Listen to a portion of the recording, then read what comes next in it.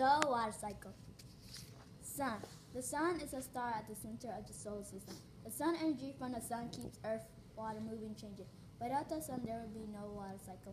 And the sun is a huge ball of hot gases that gives off energy. Evaporation. Evaporation is a type of vaporization of a liquid that is not saturated with the evaporating substance. When water gets warmed by the sun, it changes from a liquid into a visible gas called water vapor. Condensation.